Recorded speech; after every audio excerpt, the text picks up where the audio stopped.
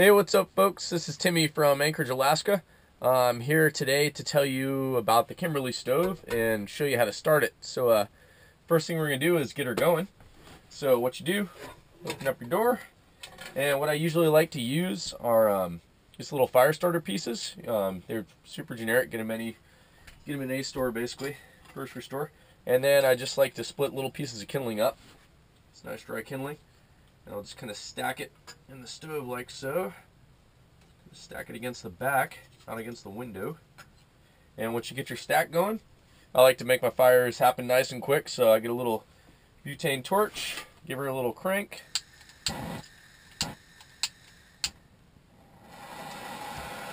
And light that puppy up. Usually when I do this, I try to keep the door closed a little bit.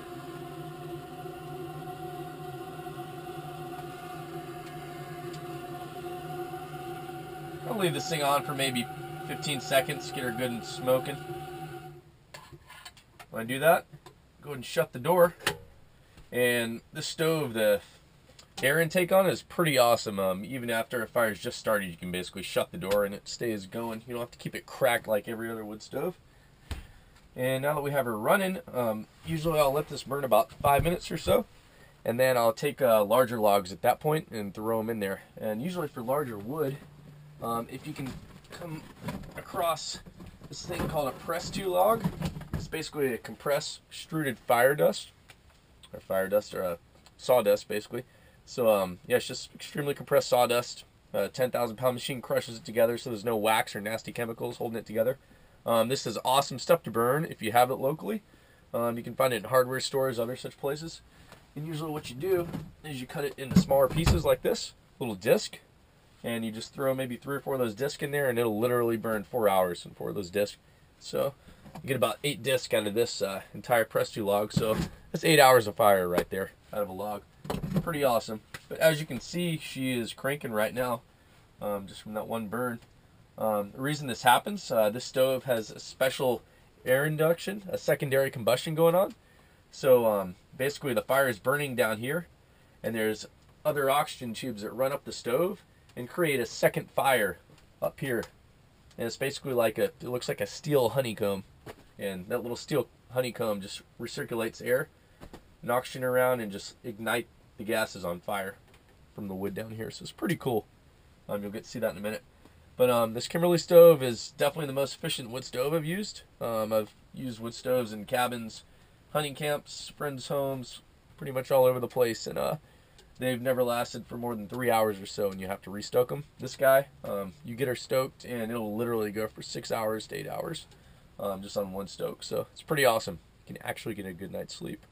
Um, it's only 25 and a half inches tall by 10 and a half inches wide. So it fits in an extremely small space, such as this tiny motorhome.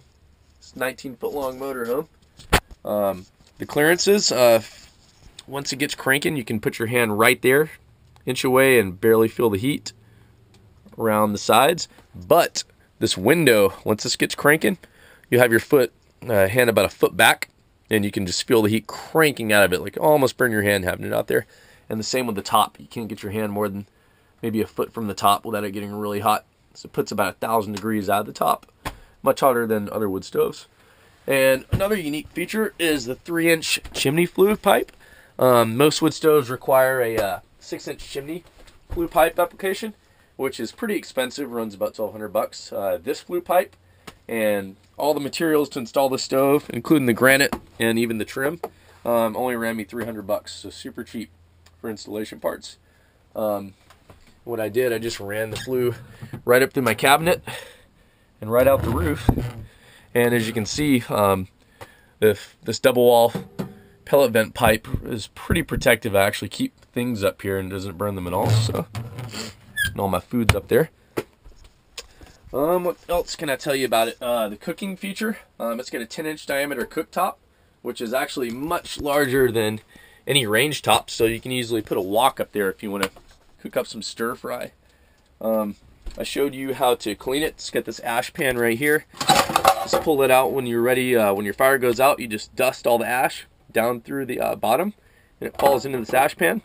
Dump your ash pan out, put her back in, and it uh, actually has really little ash usually. Um, it's a pretty efficient stove, so it burns. It actually uses all the fuel. It doesn't just turn into ash. Uh, what else can we tell you about it? It's pretty light. It's uh, 56 pounds, so it doesn't weigh the RV down. Most small stoves are anywhere from 100, 200 pounds, so uh, it's kind of nice having a lightweight stove. And that's pretty much it. Um, pretty soon I'm going to show you the, uh, the secondary combustion that the stove has pretty cool. We can actually try it right now. Let's see what happens. What's up, guys? Going to show you some Kimberly flames. See what we can get going here. We'll just mess with the draft controls. Here we go. All the way open. And it's a ripping fire. We'll do half throttle. Pretty cool fire, still kind of ripping. Down a little bit more and things start getting really cool if you can see that secondary combustion up top. It's really going off. Pretty cool looking flames coming out of the front. We're to cut her back a little bit. She's about one quarter throttle right now. Cool stuff going on.